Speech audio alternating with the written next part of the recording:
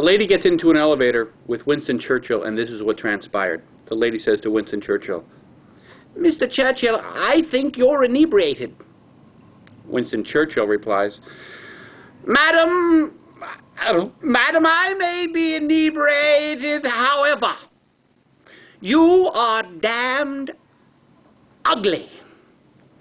And it stands to reason you'll see that I, in fact, shall wake up in the morning clean and sober. However, you shall still be damned ugly.